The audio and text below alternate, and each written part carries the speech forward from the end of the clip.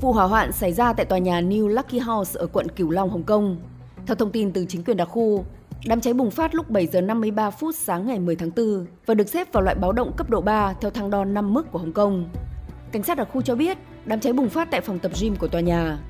Theo truyền thông vùng lãnh thổ này, đây là tòa chung cư kết hợp trung tâm thương mại cao 16 tầng, được xây dựng vào năm 1964 với khoảng 240 căn hộ.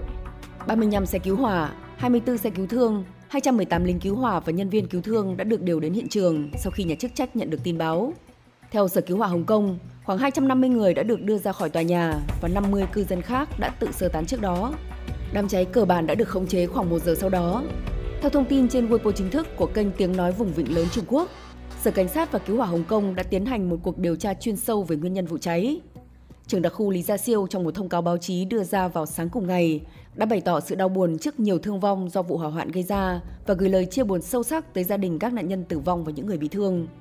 Ông cho biết rất coi trọng vụ việc và đã chỉ đạo các bệnh viện dốc sức điều trị cho những người bị thương, trong khi lực lượng cảnh sát, cứu hỏa và các sở ngành liên quan điều tra nguyên nhân vụ cháy và việc gây ra thương vong nghiêm trọng. Ông cũng chỉ đạo Sở Nội vụ, Sở Phúc lợi xã hội và các sở ban ngành khác làm tốt công tác khắc phục hậu quả, cung cấp mọi hỗ trợ cần thiết cho gia đình những người thiệt mạng và người dân bị ảnh hưởng bởi vụ cháy.